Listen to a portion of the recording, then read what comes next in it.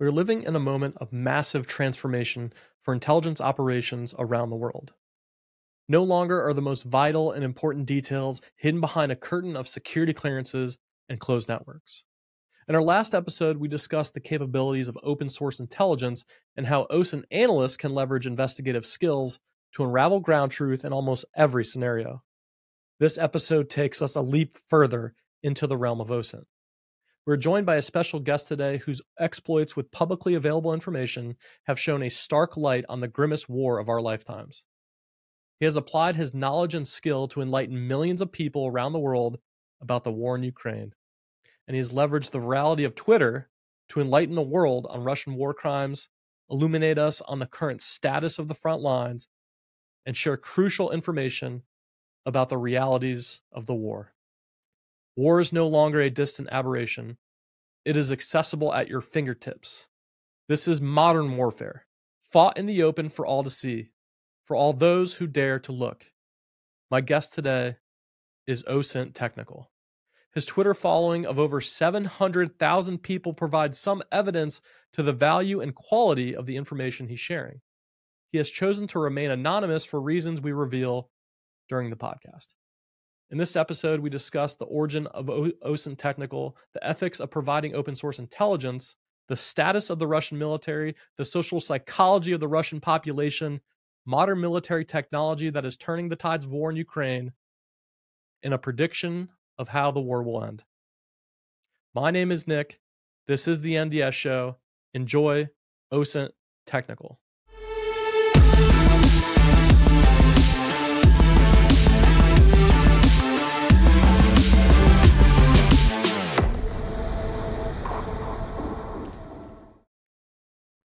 Hey, welcome to the podcast. So, yeah, I was hoping you could give me a quick rundown on how you got started with this OSINT technical account. Yeah, so really OSINT technical is more an amalgamation of some of the stuff that I've been doing for a while now. Um, I probably started doing open source intelligence when I was probably before high school at this point. Um, following uh, the rise of, or at least the the beginning of Arab Spring, moving into um, the Syrian civil war, I would say is this first real environment where the social media driven conflict really started to be observable to the just general person just looking on Facebook or Twitter or any other platform. Um, moving into the Syrian civil war, which of course was an extension of the Arab Spring, um, that was an environment where there was both the regular internet infrastructure across Syria. Syria was a relatively well developed country at the time um, and this combination of a, a very large conflict, um, which kind of allowed everyday people just with an interest in it to easily peer into the conflict itself and get really actionable int- information out of it.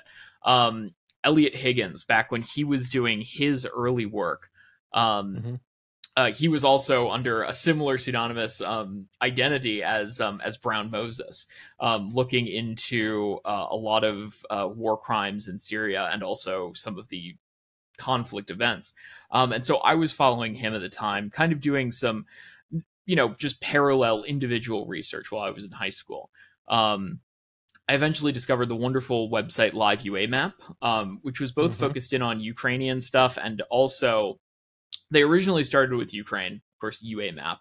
Um, moving down and also looking at the Middle East, Syrian civil war, rise of ISIL, um, and sort of that developed conflict. And so I was, you know, I was sitting in my high school um, computer class where I, I really didn't do much actual work for the class. I was, you know, I was I was stuck on Twitter, mm-hmm. I was stuck on Live UA Map, I was stuck on all these things, you know, basically just doing my own thing in the corner. Um, and so that that really evolved into a lot of the stuff that I did for OSINT Technical, which was just you know geolocation, um, identifying. Uh, uh, one of the early projects I, I, worked on actually in the account, if anyone wants to really dig back to those early tweets, was wildfire mapping. Um, was utilizing oh, early, oh, nice. you know, FIRMS data, which you know we're all using that for mm-hmm. Ukraine now, but I was using that, you know, uh, four years ago um, to to actually dig into um, some of the uh, uh, wildfires in California and across the West. Um, and so really a lot of what i've done has been these slow steady incremental steps you know acquiring information and learning how to disseminate it um, and, and, you know i'll say that to everyone you have to have uh, you don't necessarily have to have a perfect base to disseminate you know information out and talk with other people but really a lot of what osint is built on is people teaching others how to do things and so reaching out to people, talking to people, and usually in the OSINT community, as I found as I was, you know, coming up in it, people really love to talk to other people about what they're doing, you know, what their techniques right. are. Of course, it's the open source nature of what we're doing. It's it's this sort of information sharing, but also sharing how you got to your conclusion because you can, because it's all open source. And I and I think I think that's a great asset um, to the OSINT community because if you look at the intelligence uh, space and the intelligence community, there's not well, you know, there's obviously communication happening across agencies and things like that in the United States. There's definitely a little bit of hey, this is my ball, I'm taking this home. you know, there's a little bit of that going on in the intelligence community. Um, well, you know, if people are looking on YouTube, you can see this guy singing on an elephant. Uh, so I was hoping maybe you could tell us a little bit about uh, what's up with the elephant?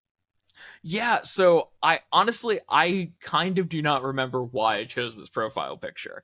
Um, okay. What I do remember is the process of of once I was kind of gaining some traction on Twitter, having a panicked moment of um, trying to figure out whether or not it was copyrighted, which right. which was an interesting um, interesting dig. So you know, of course, I, I took my my OSINT know how and I said I'm gonna find out if this is a copyrighted image.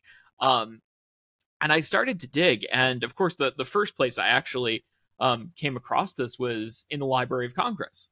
Um, and wow. it turns out that this is a, a, fairly old image once I actually chased down the chain of custody um, belonging to the Marine Corps um, from probably 1917 to 1921, not specifically dated. Um, I ended up going down to the Library of Congress and talking with a couple of the archivists there um, they couldn't find me the original plate or anything, but they could help me with, you know, identifying a bit of extra information about where it came from, um, utilizing some resources that they had access to to, you know, kind of gain an idea of what the chain of custody looked like for the image.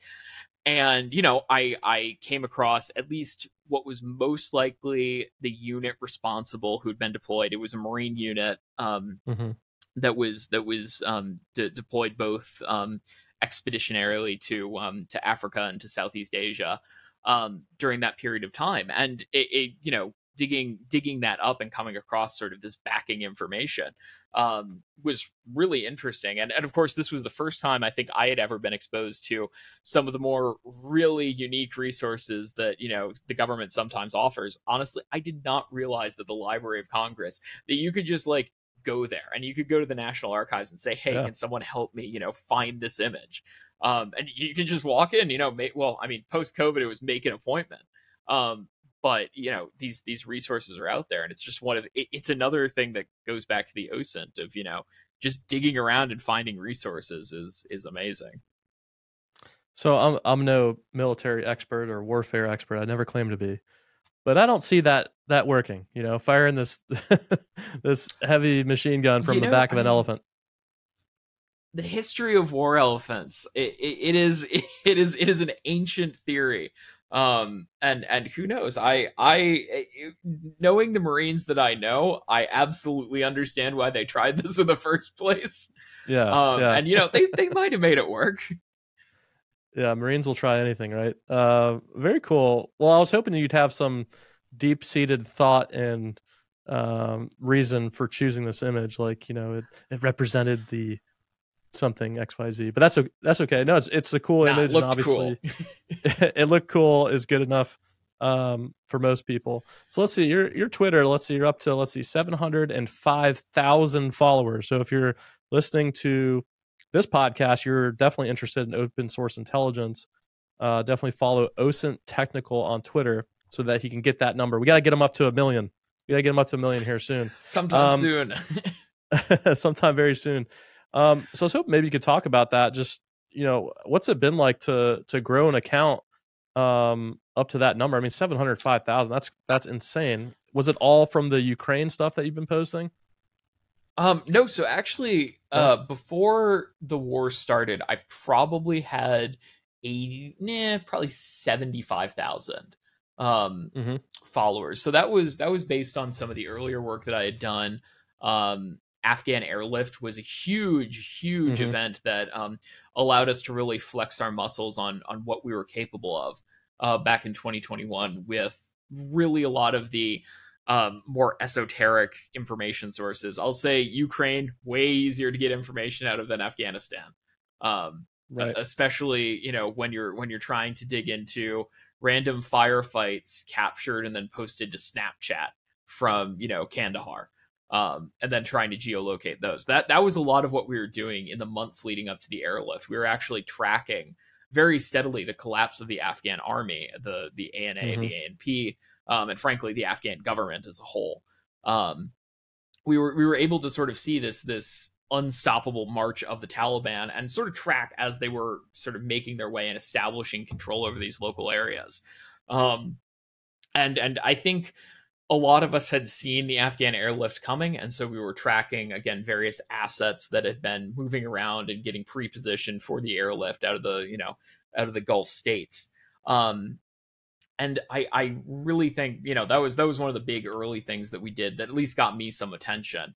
Um, and then you know before that, again, the the average OSINT communicator is you know someone not with that many followers. I, I would say having this number of followers is definitely stressful to a degree.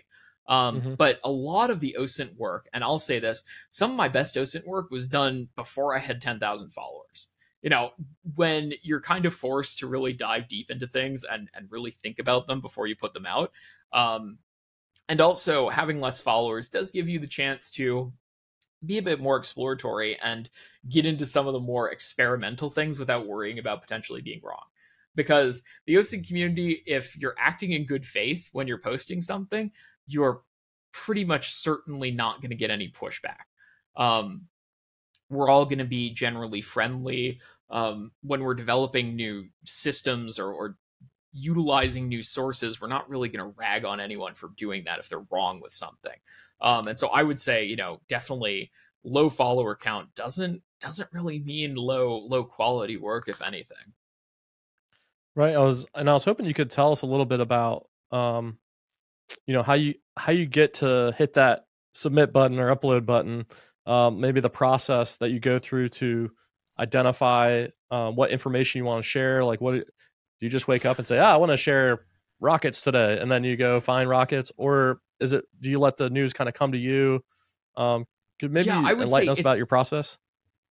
it's much more responsive um to ongoing events Okay. it's you know i mean you can chase down certain subject areas but it'll you'll get random stuff posted by individual units that is the one really interesting thing about ukraine um, most individual ukrainian army units and frankly all across Mhm. the ukrainian armed forces um, have social media accounts whether that be on telegram some are on twitter not many are on twitter um, a lot are on facebook um, and some on TikTok as well. Um, and so a lot of what I do is just digging through those active accounts on those services and seeing, hey, you know, what are they doing today? What's what's the 30th Mechanized Brigade posting about today? What what did they do?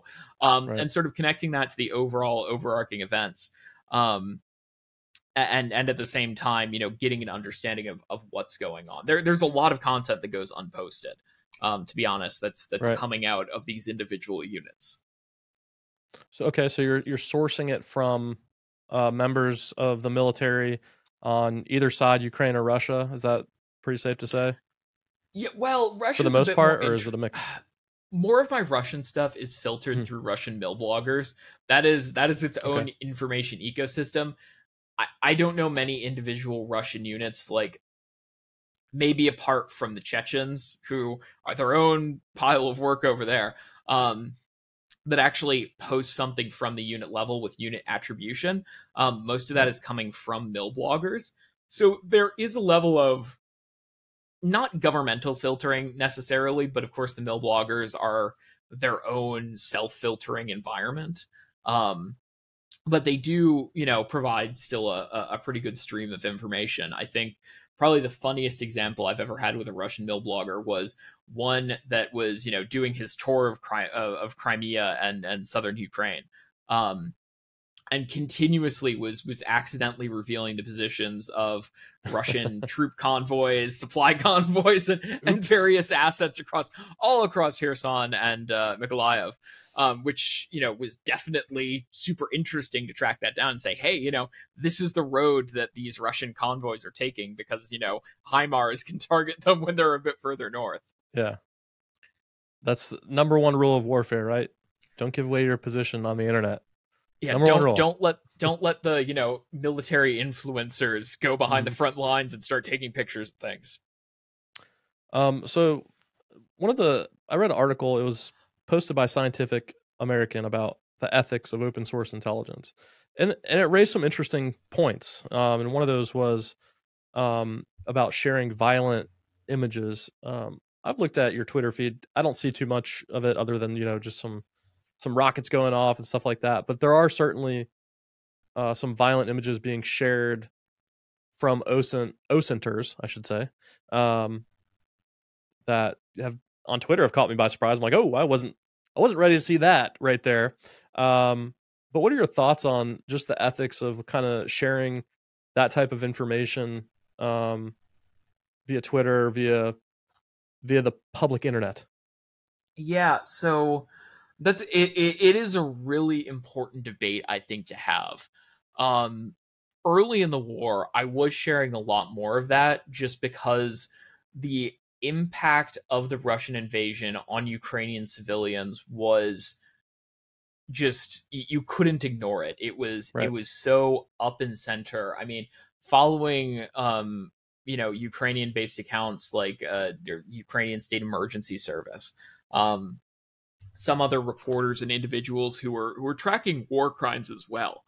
Um, Kharkiv uh, was continuously shelled um, by cluster munitions, by by Russians firing BM-30 Smerches um, from near the Russian border, basically just into the city of Kharkiv. Um, for the first week, probably first two weeks of the invasion, before many civilians had had a chance to evacuate. Um, and the effects of that were very expected for for what you would what you would see um, with basically shelling a civilian area with cluster munitions. Um, and back then, I really did see the deep importance of sharing that content. These most social media services offer the opportunity to properly tag and mark this content as sensitive.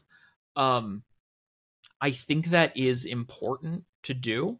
Um, and I do think it is really important also to make sure people are seeing, you know, any sort of crimes against humanity with with these events. I I think that that was an incredibly important thing, at least um, early on in the invasion when civilian populations were extremely heavily mm-hmm. affected. Um, I I you know it's something that I shared back then. I have no regrets sharing it. Um, right. And I, I, really do think it, it, it helped shape the narrative around what was happening, and probably will be used in the future um, to you know attempt to prosecute individuals who who committed these crimes. And I think establishing sort of a, a public record of that was essential. Um, today, though, it does seem like a large amount of the content, at least the the super violent content is restricted to a military environment. Now, that doesn't excuse obvious right. war crimes, um, especially ones committed by Wagner units. Um, those there there have been a number committed, and I, I think at the same time there is the same impetus to share those just just as a record um, and and as a communication of what is actually happening. Um, because it is it is an affront to the laws of war. Um, whereas I think some of the other content that's shared that's just gratuitous in nature um, from mm-hmm. the front lines, you know, there there is an argument to be made to share that.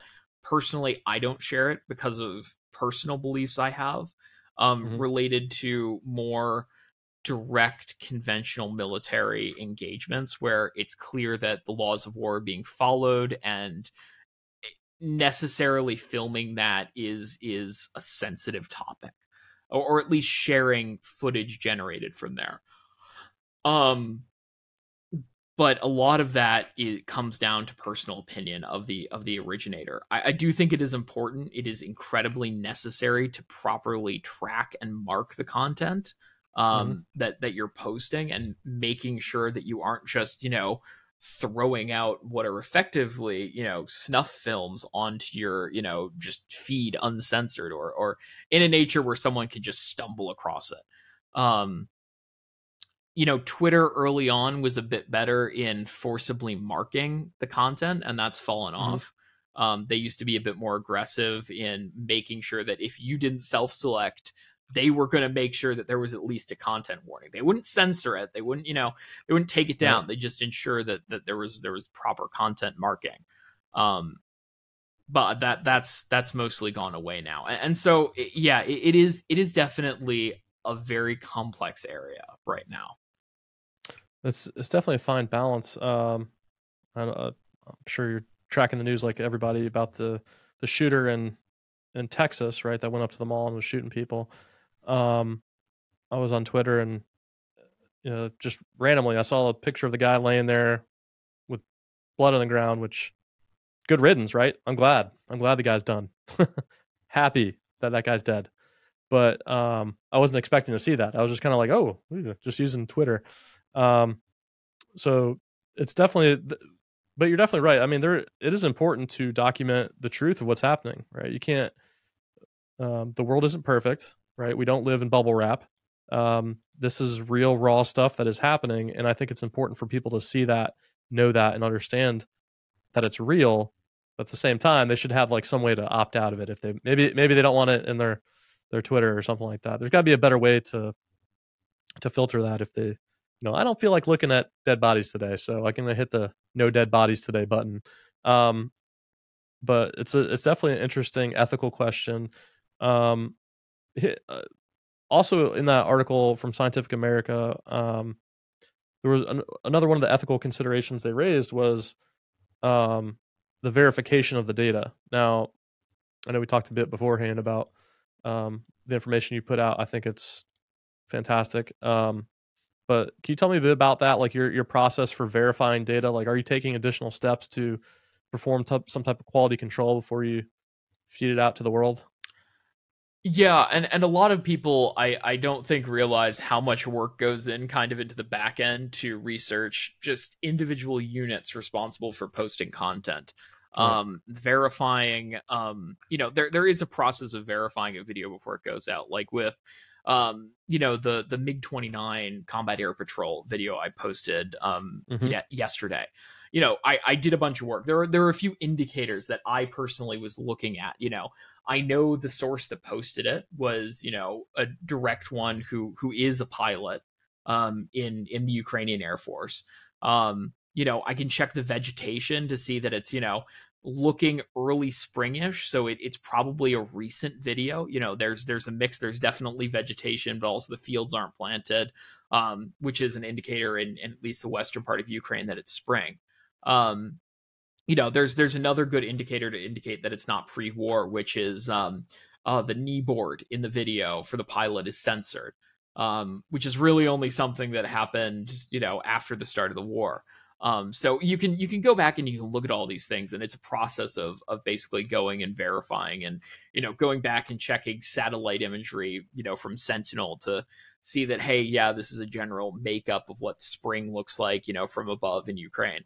Um, and you know for i do that basically for every tweet you know i'm verifying sources i'm i'm i'm basically doing the, an extended sniff check of it if i can't do something like actually geolocate where it happened and, and mm-hmm. verify mm-hmm. location um and yeah there there is a lot of that that goes into you know the back end of what i'm doing um and i i also rely on others you know if i make a mistake someone's going to say, "Hey, that's old footage. Here's where it's from." And you know, I I I have that happen fairly rarely, but when it does, you know, mm-hmm. I'm very thankful for people who fact check me.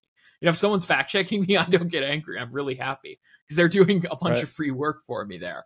Um, and and ensuring that that I'm sharing the best possible information and, and the best or the most accurate version of the story of what's happening. Um, and yeah, the, the the back end work isn't isn't minor in what I do. Yeah, so I mean, you got a lot of cool stuff in your account. Every, everything from, you know, here's Russian military capabilities to Ukrainian military capabilities and things like that. You had one twit uh, post that I wanted to chat a bit about. Um, let me see if I can share my screen here. Um, let's see if this actually works. Uh, this one, this one, this one. There we go. Uh, let me know if you can see that.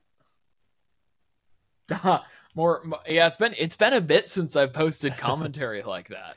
Yeah, so I, I was really intrigued by this because I'm an ISR person. My background is in intelligence, surveillance, and reconnaissance. For those that don't know what ISR is, um, and you know, I think we've learned a lot about Russia going uh, into Ukraine here. Um, but I, th- I found this as an interesting thought. Now, I was hoping you could maybe talk us through it a little bit. For the people that are listening, I'm going to read this to you, uh, or at least the first part, and then we'll we'll talk about it a little bit. So it says. Uh, as a side note here, both at the resource and organizational level, Russian ISR is poor.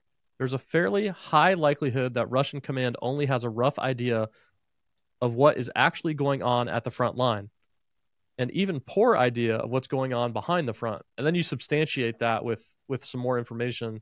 Um, I wonder if we could talk about that a little bit about the Russian capabilities, not just in ISR, but um, you know their communication and things like that. Like what if we really learned about Russia in terms of capability uh, going into this?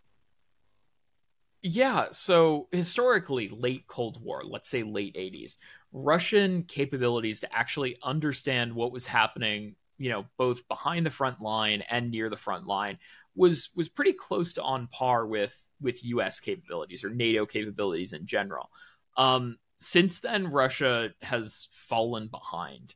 Um, I I I'll put it this way: the Russians operate uh, actually after after combat or related accidents. The Russians operate like two IL twenty two PPs, which are um, mm-hmm. their larger, you know, theater strategic based um, electronic signals intelligence aircraft. Um, and those can only be in you know limited places at any one time collecting a very limited amount of information and can't go that far you know or that close to the front um, russian frontal reconnaissance aviation is next to non-existent now they used to have a mm. fairly good fleet of su-22 mrs um, which were sort of modernized reconnaissance aircraft um, built to you know go in at low level and take a picture of something that you know they wanted to hit later um, or go take a look at something. Um, they've retired their entire fleet of um, of MiG twenty five based reconnaissance aircraft, which had side looking airborne radar um, that could that could actually you know take a look at the ground and you know track units moving around. All of that's gone. All of that's been retired. That's gone away or has been significantly depreciated into you know basically disuse. Um, whereas the Ukrainians have access to a massive amount of commercial satellite data that's being paid for by the United States. We've been very public in our um, aid package mm-hmm. announcements that we're providing that to them. Um, and the Ukrainians also have some some native uh, reconnaissance solutions and and that they that they utilize. Um, additionally, that's that's just the resource. That's you know the Russians have terrible resources that they can utilize to actually get a look of what's happening.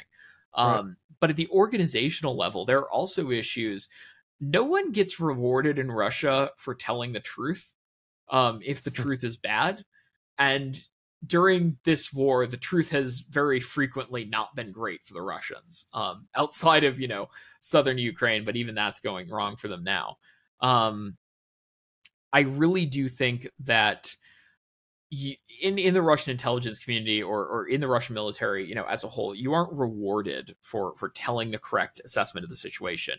You may distort it a bit. You may make it seem like it's you know going a bit better than it is, and so that slowly, you know, at each level, you know, each individual person reporting up the chain is going to make it seem a bit better until the eventual picture that the commander gets is completely not in accordance with reality. And so when I say that mm-hmm. at the organizational level, Russia has very little idea of what's happening at the at the actual front line or or a degraded idea of what's happening at the front line um it, it's because everyone's lying to each other and and no one no one really wants that that idea and so when the milbloggers you know those those russian mm-hmm. not state associated you know channels but but obviously guys with you know some contact with with Russian command and and with you know individual Russian soldiers on the ground are, are panicking you know at every single Ukrainian tank driving around in, in Kharkiv Oblast.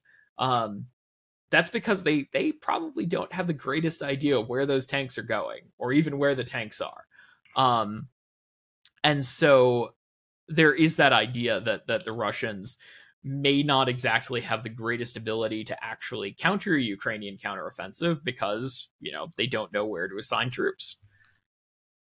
It, it sounds like uh, an entire military that literally shoots the messenger. That's what it sounds like to me. you know, you, yeah. you bring bad news, bye bye. Um, yeah. and, and it has it, yeah, and it has actually impacted their their capabilities to really degrade the Ukrainian military. Uh, in the first two weeks of the war, mm-hmm. the Russians were constantly hitting, you know, Ukrainian barracks, command centers, um, right. uh, airfields, areas where there were actually Ukrainian troop concentrations. That's almost certainly because they had built up data on that. The 2nd mm-hmm. the Ukrainians actually went to the ground and got responsive and distributed and dispersed their operations, to you know remote sites the russians completely lost their picture and capabilities to actually you know reach out and strike them with their platforms which is why they switched over to targeting other things that they had long-term information on like infrastructure which are hard targets that don't exactly frequently move around. Um, so that's that that's one of the biggest signifiers that they actually were you know that their their limited capabilities have been hurting them. So you always think about in in military history about the way Russians approach warfare, right? Which is they're just going to throw more bodies at it. You know, um, there was a great movie back in the day about the the snipers that fought each other, and they literally had people, you know, firing at, at them from the front and the back, right? So it's like you had to go into well, war. That's, uh, you had no choice. Uh, that's, is, that's is that, kind of a misconception, actually. No, okay. because during World War II, the Russians were actually, you know, they got pretty confident with what they were doing. They were you know, as they were driving mm-hmm. the Germans back, this was not conscript rush based. They were they were conducting fairly um, complex maneuver warfare. You know, they, they they they they got past the you know having the single radio for the commander just to talk to you know the other mm-hmm. commander mm-hmm. to tell him where to go. Um, and and they were conducting pretty complex operations. Um, even even during the Cold War, the Russian military really was built, or or the the the Warsaw Pact was really built to conduct fairly complex operations, you know, utilizing thousands of aircraft working together and, you know, eventually by the late 80s also incorporating airborne early warning assets. Um, and and various extremely advanced for the time um, reconnaissance assets, and so this this this really is honestly as as stereotypical as it might seem you know from the from the limited or the the very big focus on events that happened in stalingrad basically.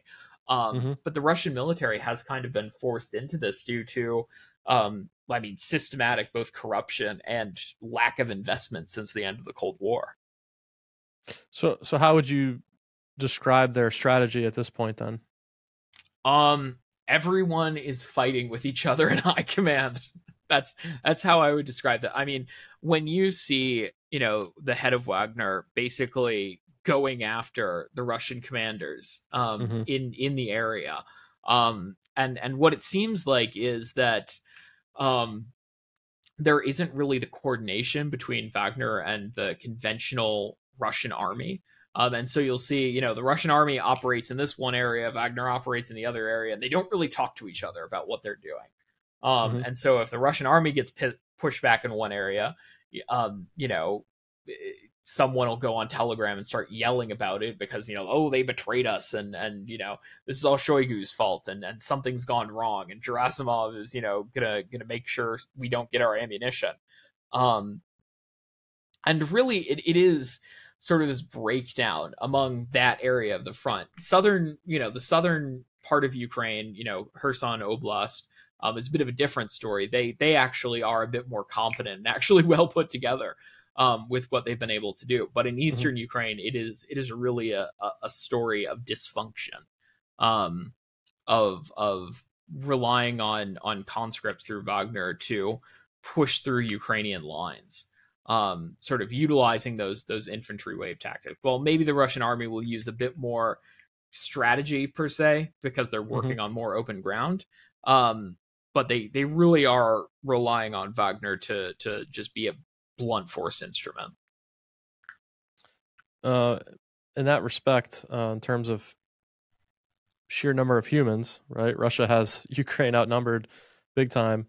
Um, how how does Ukraine like just from what you've seen? Um, how do they approach this uh, tactically? Right, like what are what are their, the tactical things that Ukraine is doing well um, that maybe Russia wasn't expecting, or things that you're seeing that like oh that was that was pretty smart.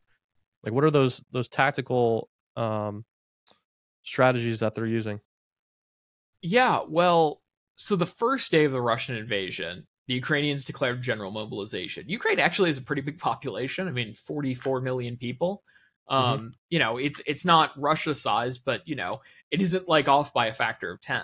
Um, and what their general mobilization allowed them to do, which is what Russia still hasn't done, um, is put probably, you know, 2 million people in uniform. Um, which is a significant advantage over Russia um, without Russia declaring any sort of general mobilization. So, day one, they did the right thing. They put their war reserves into uniform and started training them and getting them ready for more complex operations. Huge asset for them was the available manpower they had. Um, the other big thing that they've had is um, foreign donations of equipment that has really backstopped them and allowed them to, mm-hmm. you know, Ukraine is supplying the manpower, the individuals to defend their country, um, while the West is supplying a lot of underlying technology, equipment, um, and ammunition and other resources to to conduct warfare um, and enable them to to you know actually utilize their manpower. Um, and the Ukrainians have been I, will say this: Ukrainian commanders are significantly better than Russian commanders. I, I very rarely say that there's like a qualitative difference between individuals on both sides of the field because, frankly, we're all humans, and the delta isn't going to be that huge. On the Ukrainian side, it seems to be a a fairly significant difference. Um, that's primarily because post 2014, the Ukrainian armed forces moved much more towards a merit based system of of mm-hmm. actually mm-hmm. doing things like encouraging uh, uh, actual good education for their officers um, and and developing a, a, reasonable NCO corps, which which they have done um, with a lot of the regular troop movements um, into I, I, into the the frontal area in in in the Donbass. Um, and on top of that, they were sort of able to develop these underlying bones of a military that could absorb large expansion, which is what they were forced to do last year. Um, now, on top of that, General Command eh, has been very responsive to the needs seen on the ground. Um, they've been able to properly utilize Western supplied resources to conduct operations. They haven't just been mm-hmm. wasting what they have. They've they've been very judicious with their supplies and and you know apart from maybe one or two questionable decisions that that worked out for them. I I would say that um in, in general the the upper level command has been able to properly conduct operations deep into Russian held territory and and you know as as we saw in Kherson or sorry as we saw in Kharkiv um they were able to properly understand Russian force positioning take advantage of it and conduct a beautiful counteroffensive um, mm-hmm. that that was able to work around existing roadblocks and obstacles to you know achieve an objectively amazing outcome. Um, whereas the Russians are kind of mired in everyone fighting each other and you know questionable tactical decisions at least outside of the South. Um, I think those are those are kind of the big advantages that the Ukrainians have right now. Moving into the future, of course, you know they have a manpower advantage. They don't necessarily have an equipment advantage, but they do have right. um, some qualitative um, advantages in the type of support that they're getting. So I've noticed that you really seem to kind of know your equipment, which is awesome. Um, as a former imagery analyst that was trained to tactically identify things from satellite imagery, I I, I love the fact that you really know your equipment. Um, maybe get your thoughts on that. Like, has has there been any one or two pieces of equipment that have really shifted the the tide of war here, or anything, any major gaps in equipment that would uh, make a huge difference for uh, Ukraine? Yeah, I think everyone wants to wants there to be that one system that will, you know, change everything in Ukraine. Um, mm-hmm. But I don't think there ever has been that one system, and I don't think there ever will be that objective one system. Um, what there has been, though, is there have been systems given that have significantly increased Ukrainian capabilities um, to go and do something. HIMARS back last year was mm-hmm. able to force the Ru- to it enabled the Ukrainians to force the Russians to push their ammunition dumps far behind the front lines and push all their supply and resources to a place where it was hard for them to get their supplies to the front. Um, in in the you know intervening month period before the Russians were able to do that, you had Russian ammunition dumps blowing up all over the place. Um, and the Ukrainians significantly degraded their capability in one area. Um, you know, as we saw with providing them, or as as we probably will see, providing them with a bunch of mechanized equipment to to refit multiple brigades. Um, that was a, a pretty big asset for them. Just as as we've seen from training alone, they've been able to properly equip some some uh, units and and allow them to in the future conduct these operations. Um, you know, everyone wants to give Ukraine ATACMS. um, but there there are debates over potential escalation there, and the Ukrainians mm-hmm. have proven to be fairly resourceful um, with the limited supplies they have. Obviously, conducting drone operations um, has been a pretty big one for them to you know target Russian oil infrastructure, um, which can degrade further Russian capabilities to actually conduct operations. That's that's one of their things where they they come up with a solution, it's introduced, it degrades Russian capabilities, and Russian capabilities, which have then been degraded, are are worse on the battlefield. Um, and it's it's kind of this steady march towards turning the Russian army from what it was in the beginning of 2022 to what it is now, which is a significantly degraded fighting force that has reduced capabilities to actually conduct operations and spends, mm-hmm. you know, six months basically throwing people at a city in eastern Ukraine, and now they're being forced to retreat. So it, it's it's this steady stacking of capabilities that the Ukrainians have either self-generated or have been given to degrade the Russians slowly. They're basically chipping away at the Russian ability to conduct war um, which I think is the big thing to remember is that it requires this steady supply of capabilities to actually right. put the Russians in a position where they can be effectively thrown out of Ukraine. Has there been anything that's been kind of surprising along that lines um, of capability? Oh, I would say HIMARS, absolutely. Like, HIMARS.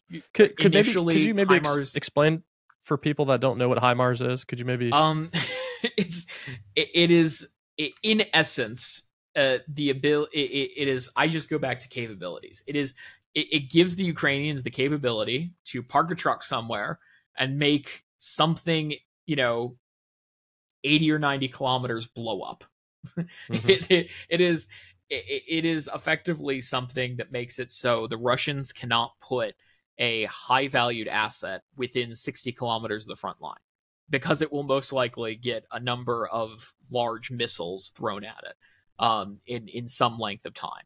Um, and and HIMARS, you know, is is an incredibly it is a mobile um, rocket launch system, um, and which has allowed the Ukrainians to actually not lose any yet um, for from Russian uh, uh, uh, strikes, which has been a, a, huge asset for them at, at the same time it's been able to degrade the Russian capabilities and Russian assets. So uh, I brought up the wiki for HIMARS. Um, which I'm familiar with it, but for the people that don't know, it's a like like you mentioned a um, truck mounted missile system that says carries one pod with either six uh, six rockets or one uh, missile. So they got some crazy acronyms here on these missiles. Just know it's got it's got massive capability to reach uh, deep into um, territory. So that's uh, interesting to see. Um, the M142 HIMARS, cool stuff. Um, anything else? Uh, you, you, mentioned drones. Um, as a drone person myself, um, I think it's interesting that what you're seeing a lot of times is uh, the Ukrainians using a DJI drone and the Russians using a DJI drone, and they're fighting it out uh, with these Chinese drones. Um, what are your thoughts on just the the basic use of drones? And obviously, from your perspective, you probably get some great video from from those uh, and things like that that you get to share. Um, what are your just general thoughts on the use of drones in this in this war? Yeah, so drones have immensely evolved um, since the start of the conflict. Um, I mean, early there were examples of these these very early sort of utilization of drone dropped munitions back when ISIS was still a problem in especially in Mosul. Right. Um, there would be Russians or not Russians, sorry, ISIL ISIL fighters mm-hmm. flying around, you know, DJI Phantoms, very early DJI drones, um, dropping oh, yeah. single grenades on onto coalition forces. Um, and that that was an early thing. It didn't really evolve basically from then to Ukraine just because there there wasn't as much interest at, in it as as ISIS really stopped being as much of an issue. Um, but early Ukrainian efforts to actually implement, uh, you know, basically people were running around during the invasion of Kiev with their with their own drone and basically going to a unit and say, "Hey, I have a drone. Let me support your your you know your artillery battery. Let me let me support your right, attached artillery by flying around and, and spotting targets and and giving them gps coordinates of where to shoot at um and and sending them videos of of what you know is behind the front. Mm-hmm. um and that's something that that really started off and and kick-started everyone's ideas of how to use drones in in in warfare in especially in ukraine um and that slowly got developed further and further and further um, until eventually, you know, by the end of of the engagement around Kiev, um, Ukrainian forces had started to really figure out that you know, hey, we can basically just attach small grenades to you know our Mavics, and we're going to be flying over the Russian position, looking at them anyway. How about we drop a grenade on them at the same time? Um, That's wild. And there, there was that realization and sort of that learned communal knowledge um, within the Ukrainian armed forces because, frankly, and the one great thing that Ukrainian armed forces has going for them is everyone tends to talk to each other. Um, right. And so if one person learns that, hey, you know, there's a 3D printed file that I have that, you know, can you can attach it on a drone and use, you know, X, Y, and Z to to drop a grenade. Um, I'm going to share that with everyone I know, and they're going to share that with everyone they know. And suddenly, within a few weeks, everyone is using, you know, everyone's mm-hmm. attaching mm-hmm. grenades to their drones and flying them out and dropping them on Russians. Um, and I think that that sort of communal capability was evolved quickly for them. Um, it is one of those, you know, warfare drives invention very quickly. Um, and then on top of that, you saw this extremely sudden, at least, uh, driven by a few different projects, uh, use of FPV uh, loitering munitions. There's one right. fairly famous video from about five years ago um, in in Ukraine of a uh, uh, uh, of a Ukrainian FPV drone that was unarmed, uh, flying out and harassing a Russian or not a well a Russian separatist position, um, basically just flying through their trench and annoying them and harassing them. And I think there was kind of a realization a few months ago that wait a second, we can build a drone that is, you know, a racing drone that's powerful enough to lift, you know, either an RKG heat grenade, which is basically just a really big grenade, um, or a, a, basically an RPG warhead, um, and go fly it into something, and it's going to explode and it's going to really hurt. Um, hmm. And you know there are a few proof of concepts there um, that had been shared on Telegram, and then the Escadrone project was launched, and that really got into you know churning out frankly hundreds of these FPV loitering munitions. And they've been they've been moving to the front pretty pretty regularly now and we're seeing obviously a lot of videos of basically what are what are in a way mm-hmm. almost improvised javelins of of being able to put a heat warhead into the top of an enemy tank um, or enemy you know armored fighting vehicle or enemy position um, and and I think that's going to continue as drones kind of steadily evolve in this environment. Um, obviously, there have been efforts to down enemy drones with with jamming systems, but the mm-hmm. problem with that is uh, unfortunately the inverse square law, which means that you you can't exactly jam the entire front. Um, you you you don't have enough jammers. Either side doesn't have enough jammers to actually deny the entire front line to drones, and you you'll figure out quickly where there aren't jammers because suddenly you can fly your drone around and you know mm-hmm. actually go and drop a grenade on the Russians. Yeah, it's like Swiss cheese, right? It's only a matter of time before they. Yeah, someone's going to find a hole. very cool. Very cool. Uh, well, in your estimation, you know, I know no one can predict the future, but I'm sure you maybe talk about this. Um, where's where's this? Where's Ukraine at in ten years? You know. Um, probably in the EU. Um, depending on what happens, maybe in NATO, maybe not in NATO, but almost certainly in the EU. Um, mm-hmm. I don't know if there's going to be some sort of agreement with the Russians. Um, the Ukrainians have obviously made it clear that they intend to recover all territory um, previously taken by the Russians. Mm-hmm. Um, so that'd be Donetsk, Luhansk, and Crimea. Um, and of course, the the other oblasts, which the Russians have just invaded and annexed. Um, the Russian response to that is going to be interesting. Russia basic Russia basically has two routes right now, and I'll I'll I'll or technically three, but I don't like considering the third route because it's not great for anyone. Oh, um, oh boy. Well, obviously, you know, it's uh, we can guess nuclear. what the third route is. it's it's the nuclear option, which you know right. I don't think anyone's crazy enough within Russia to actually go through with that. But you know, if I'm wrong, haha, good luck trying to yell at me then. Um, Right. But I, I, I think they do have these two options, which is either realize that the Ukrainians are not going to roll over ever, and that there is there's no reasonable option in which the Russians are able to retain the territory they currently have, and they realize that they mm-hmm. need to go- negotiate, and they take you know some sort of negotiated position where they they effectively end up losing most of the territory because that's the only one where the Ukrainians are actually willing to negotiate on. Um, and the other one is Russia goes through general mobilization, um, and they continue to churn through their own population, basically throwing them at Ukraine. Um, and that one has further two options, which it's basically things grind down in the east until it's basically trench warfare, um, with Russians basically just throwing people at the problem, and the Ukrainians not willing to commit enough resources or not able to commit enough resources to basically just run over them. Um, because at the end of the day, you know, they're able, they were able to conduct the operation in Kharkiv because there just weren't many Russians around, and they were able to to mm-hmm. move and, and move quickly without sustaining losses.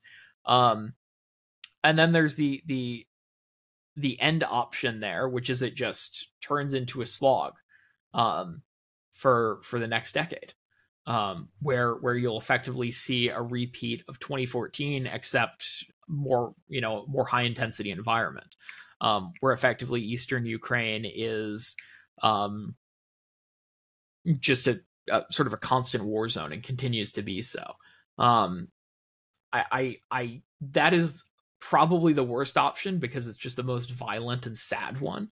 Um, mm-hmm. And then the other option that ends from general mobilization is eventually the Russian people realize that they are being just abused at this point and that their leadership will constantly just throw them into what is effectively a wood chipper in eastern ukraine and and there is there's no real option there and eventually the the there's only so much that the russian people will take on that and and they'll do right. something where they'll either make it impossible for the russians to continue fighting um where you'll just see units start to mutiny which frankly we're we're getting close to that with wagner at this point um but but you you will see increased civil issues within Russia that will kind of force them to to go back mm-hmm. to one of the other options. Yeah, I wanted to ask you about about Russia in particular. You, you track a lot of the Russian bloggers and things like that. Um, I I don't get how that entire population could just think that this this is okay, right? Like at some point, uh, aren't they going to be like, huh? maybe we maybe we're the bad guys here you know is the propaganda ever... machine that good coming from Putin that they just don't they don't realize it or or do they not care or I mean what what is it to for the Russian population? Like what what is their perspective on this? Um and I know it's hard to I'm sure different people have different perspectives but in a general sense what would you say their perspective on this is and and why are they okay with this? Why are they okay with just float, throwing bodies at the the eastern portion of Ukraine I'm sure at a certain point they don't want to lose their sons yeah, I mean, I'm not a Russia expert by by mm-hmm. any means. I I I have you know I know Russians. I've talked with them. I you know I I had Russian friends who actively supported the invasion. Um, wow. What what was their reason for supporting the invasion? Like was it... It, it's really cultural. There is there is a mm-hmm. cultural belief that the people in eastern Ukraine who were Russian and now who they fully mm-hmm. believe are Russian citizens were being okay. abused by the you know the Ukrainians. They were being genocided. The Ukrainians are a bunch of Nazis, and they will you know if they ever retake Donetsk, they'll basically kill everyone who ever supported Ukraine or whoever supported Russia.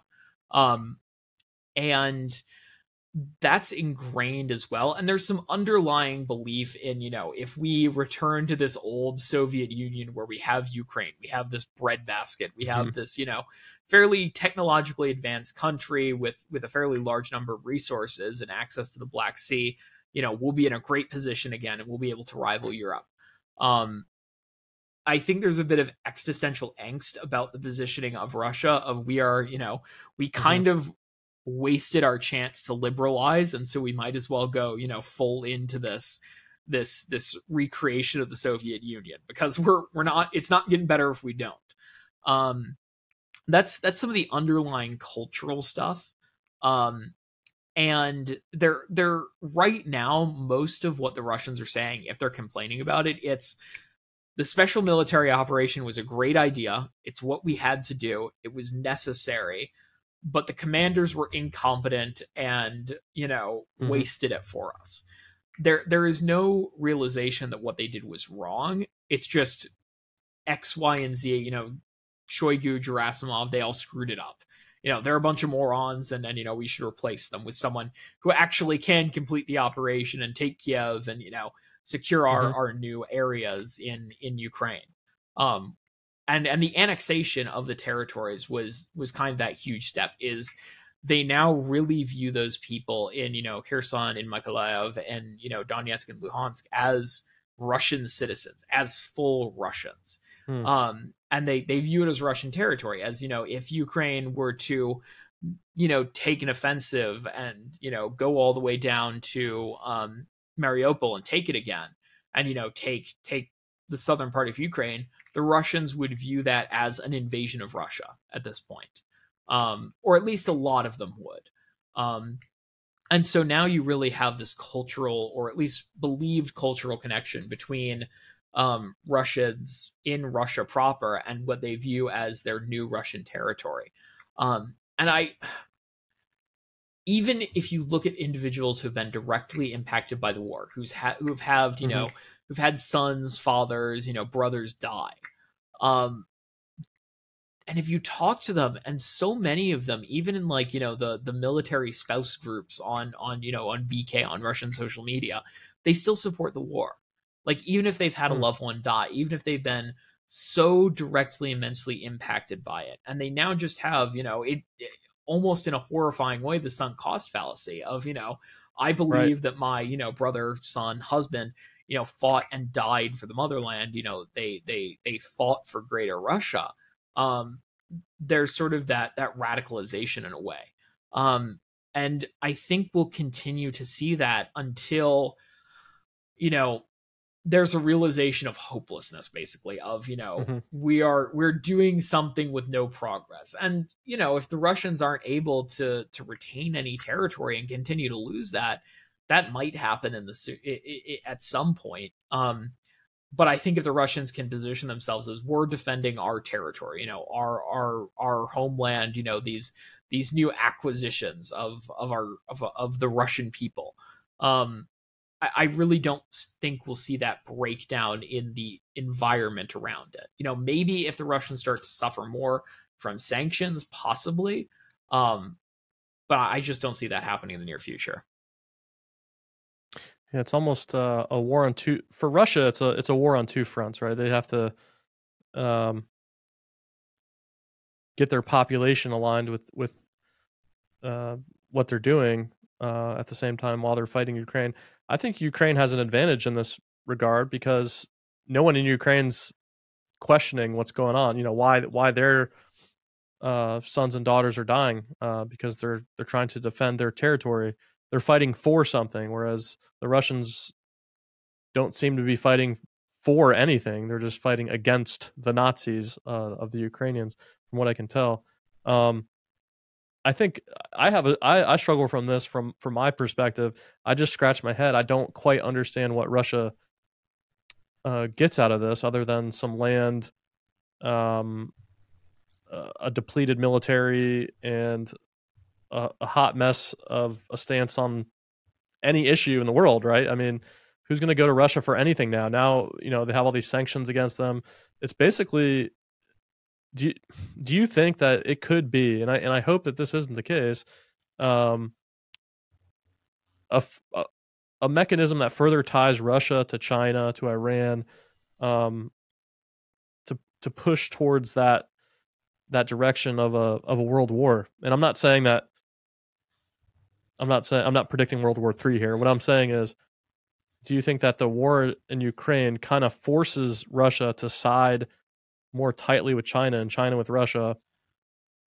That could be a prelude to a much larger um, event. I mean, uh, China has its own regional focuses that mm-hmm. aren't really in line with Russia. Um, they have their own concerns that right now mm-hmm. Russia, I mean, sure if they Russia just doesn't have much it can offer to China um right now. Hmm. It, it it has, you know, potentially a fuel supply, but they aren't actually connected by any pipelines to China. Um and and any pipelines will take more than, you know, 10 years to actually finish. Um and and Russian oil extraction capabilities are, are kind of down at the moment. Um historically Russian and China or Russia and China after the Sino-Soviet split haven't had the greatest relations. Um, and you you even we've even seen that you know now is that China has not directly supported Russia in the war. Um, they've if anything they've they've supported Ukraine and, and Russia about the same with commercial mm-hmm. exports.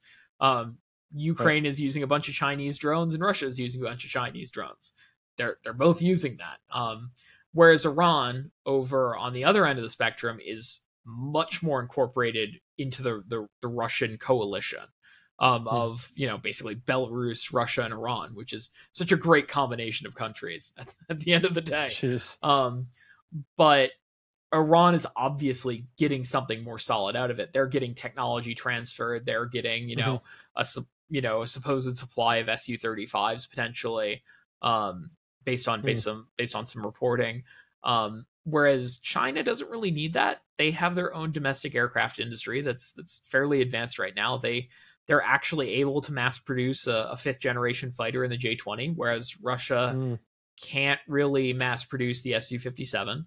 Um, you, you you see, you know, there's there's less of a reliance on Russia for those resources, and and China really has its own area that it wants to focus on. I mean, sure they they've been incorporating with the Russian Pacific Fleet, but the Russian Pacific Fleet has been significantly degraded because you'll most likely see one of the Slava class cruisers go to replace the Moskva um, in mm-hmm. in capability and either remaining in the Mediterranean or or main you know going back to the Black Sea at some point. Um, and you know Russian Russian naval capabilities have just continually degraded. Um, and you'll you'll see that cross operation, but frankly, Chinese naval capabilities in the Pacific are so far ahead of Russian naval capabilities that it it, it matters a bit less. Um, it, it, I I don't see that axis being being one that gets developed much if it does. Um, whereas I think the Iran Russia one is is far more concerning and in what Iran may be getting out of their their frankly massive support for Russia in you know Mhm. with drones, with other technologies, with you know I mean the Russians are using Iranian body armor at this point. Um, it's it's the the, Hmm. the total amount of resources transferred from from Iran to Russia indicates that there is something coming back in exchange. Are there in in all the your research? Are you seeing any any other countries involved on the ground other than Russia and Ukraine and whoever Wagner Group hires? Not really. Not not no, No. one no one else is really I, I mean if you look at it what countries would be willing to actually stick their neck out for Russia, risk massive sanctions and hmm go on the side of the losing team? Like it, it's if Russia were winning, I'm willing to bet we would see much more support from them from, you know, countries who are more aligned in that sphere, but no one Mhm. really wants to be on the side of the loser at the end of the day. Well, I mean, what makes you so certain that they're going to lose? Um, I don't really see an avenue for them to objectively win. That's that's the thing. I mean, Okay. it's it's you know what what is winning and losing. If if we want to actually Right. attempt to define Hmm. that, which is frankly we'd be we'd be sitting here for the next five hours. But at, at this point, Russian the original Russian intentions of the invasion were to you know decapitate the the Right. the regime in Kiev. Um, institute some sort of regime change to a more friendly power um and they no longer have that they they have a a country that is you know integrating further and further with NATO integrating further and further with Europe as as a whole and you know starting to gain some capabilities that are that are really threatening them i mean storm shadow um hmm it is a significant upgrade in Ukrainian capabilities that they did not have before the war that they have today. Um, that they are now able to reach fairly deep into Russia and conduct strikes. And and frankly, with the with the what whatever Russian air defense is doing, they've obviously proven that they can conduct those strikes. Um, Can can you can you talk about Storm Shadow? I mean, other than being a really cool GI Joe character. Uh, yeah, it's a it's a really That's cool, cool Snake missile. okay, that's a long I- a long I- range missile. I like the snake eye, darn it. Um, but yeah, no, it's it, it is it is a, a long range stealthy cruise missile. Um, that that's probably going to get incre- integrated onto the the Ukrainian Su twenty four fleet, which is pretty small but still capable. Um, and it gives the Ukrainians the ability to reach. it- It's also pretty stealthy, so it, it gives the Ukrainians the ability to reach behind the Russian front lines and, and continuing Mhm. to go deeper and deeper into Russia, where you know they can they can probably conduct reasonable strikes hundreds of miles into Russian territory, um, where where they they have this capability to actually then and go basically blow up whatever they want to that's reasonably involved in in the war. Um, which is capability they did not have before the war, and they have now, and that's a that's a big loss for the Russians, to be honest. Those uh, Storm Shadow missiles. Who who supplied those? That would be the UK. That is a that U- is a UK. joint yeah, Okay. that is a joint UK French weapon. Okay, that's interesting. Uh, were you tracking the news of this drone that got shot over the Kremlin uh, not too long ago? What what were your thoughts on that? Yeah, I mean, I- I I don't think it's a false flag. I I I Mhm. do not believe the Russians would decide to, you know, hit the Kremlin and make themselves look like massive morons with no real response. I mean, their Right. their response was launching what 12, 13 cruise missiles into Ukraine and pretty much all of them got shot down. Um Right. so so it, it it it wasn't a pretext to some sort of larger operation. Um it it it it made them look like you know a pack of incompetents in in Moscow with you know whatever air I mean they'd been sticking you know Pantsirs you know SAM systems on the top of a bunch of buildings in Moscow and they weren't able to Mhm. shoot down you know a couple of fairly slow moving drones Right. um and and you know it was a statement it was right before you know victory day it was it was right before you know the russians were going to roll out their very limited parade and it, it just made them look bad Yeah, what was up with that? Their their Victory Day parade. Uh, I've seen various reports. I, I I saw one that was kind of interesting. I don't know who the who this was. This representative in Russia, um, who said that they were using advanced camouflage. And that's why you didn't see all of their their fleet of uh, military vehicles because they were they were camouflaged. um, their Victory Day parade was like pittance. It was like nothing. It was like all the all their equipment they usually show off. They had almost nothing out there. Uh, yeah, I thought that was I mean, pretty crazy. I think the the enduring message, like if you were to have a tagline of of Mhm. victory of the Victory Day parade, it would have been extremism. Um, well, no, and and here's here's the end end of that. If you look at like the vehicles involved, it was three road mobile ICBMs, Mhm. a bunch of trucks donated from the Chechens, um, from Okay. from Kadyrov's guys, um, and a few other vehicles and and an S four hundred battery, and some Iskanders as well. Mhm. Um, so it was a bunch of nukes, uh, some Chechens running around in central Moscow, and you know the equipment to protect said nukes and Chechens.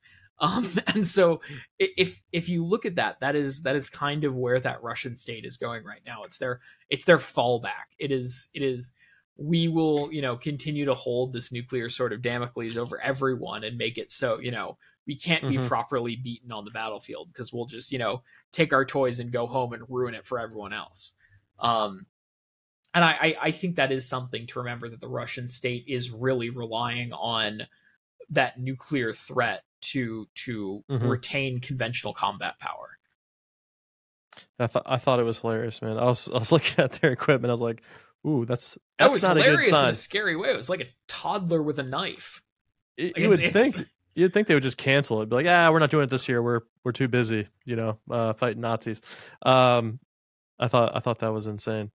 Um, so you're you're sharing a lot of a lot of information.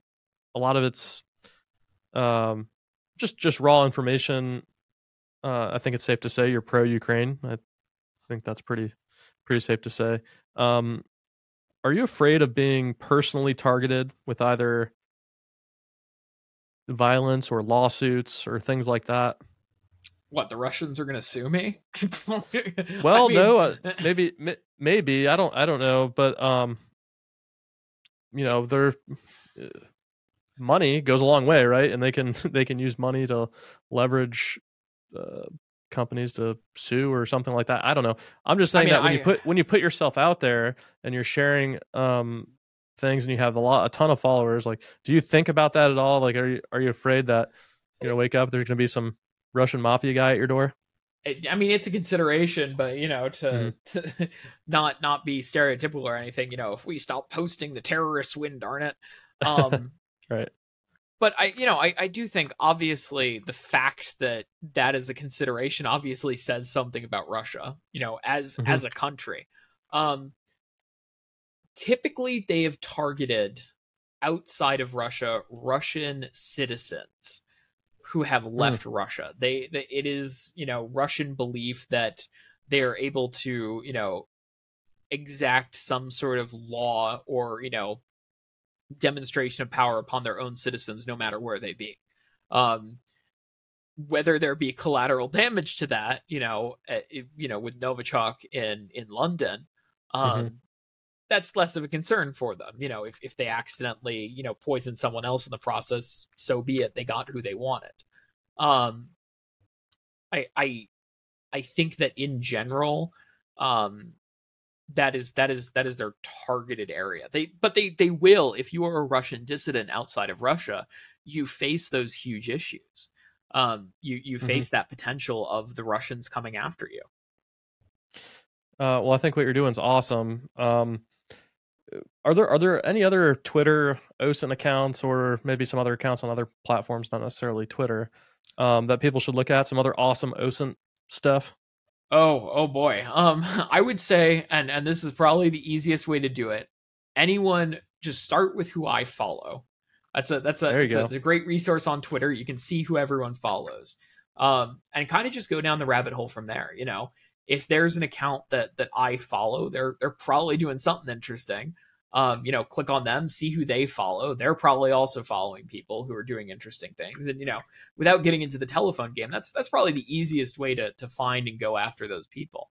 Um, I obviously always plug Live UA Map, um, just because they are they are really the the the OGs of of tracking Ukraine in a graphical manner, of making making really confusing things understandable. Um, you know, I I I have to plug Michael Kofman, who's my colleague at CNA. Um, he's uh, also very very good at at really diving in and providing deeper understanding into the situations um, going on in Ukraine. Um, but apart from that, you know, anyone I follow, you know, I know it's not a not an endorsement just following someone, but there's a general idea that they they may know right. what they're doing. Yeah, no, that's cool, and we'll we'll make sure whatever platform you're listening to this on, or or if you're on YouTube watching, uh, we'll make sure the links to the OSINT Technical Twitter is in the description. Um, I'll I'll leave you with this last question. We can we can chat a little bit further about it. Um, what do you what do you want people to know about what you're doing? You know, like um, you've given this some some hard thought here. Uh, uh, when you wake up in the morning, you you, you start digging through da- data and you're sharing out. You have a massive following, and, and that's going to continue to grow. Um, what do you want people to really know about you and to know about what you're doing? Yeah, I mean, I'd, I'd start off by saying everyone's human. You know, everyone everyone messes mm-hmm. up at some point, and you know that's. I, I think the measure of how someone should be viewed in their work is how they respond to both criticism and, you know, making mistakes. If there's a good response to it, if there's you know culpability, if there's if there's if there's proper you know understanding of you know how they messed up, um, that's a great person. They're grade A that is immediately, you know, top of the list. Um, that's that's really with people what you should understand. Um, generally, I also think OSINT is really still in its or modern day OSINT because OSINT's mm-hmm. existed for a while, but modern day OSINT, the modern day information, you know, sharing environment, um, is really still in its infancy. It's going to keep growing. It's going to keep advancing further and further and further. Um, and I, I really do think that it's still underutilized at the moment. There are still a lot of places where it can mm-hmm. be utilized. Um, and and you know, people will continue to to work forward and, and move forward in utilizing it. Yeah, on the on the topic of just OSINT in general, I had a my previous podcast was with um, two gentlemen from a company called Shadow Dragon, and I had the opportunity to see their software and what they can do with just open source intelligence data and it just it blew my mind i mean you can go you could start with just the nugget of information and learn basically everything about about someone yeah. um if there's so many vulnerabilities and these things and um for example i gave uh, I gave them my phone number. I said, you know, I was actually with a few other people. So I was like, okay, let's see what you can find. Right. I just gave my phone number. That was it. And they were able to find uh, me, my family, my address, my Facebook profile, my, I mean, just everything about me. Like, you know, I don't, I'm sure maybe some OSINT people want to research me. Go ahead. Uh, I'd be curious to see what you find. Um, but I thought I was just blown away by that because it took her like maybe two minutes and uh, it's it's it's good stuff, and I definitely recommend anyone that's interested in OSINT uh, watch that podcast. It's called uh, Mastering OSINT. It's on it's on my YouTube page. Definitely check that out. Um, all the links to all the stuff that we're talking about will be in the description. I'll put the links to some of the people that he's following as well.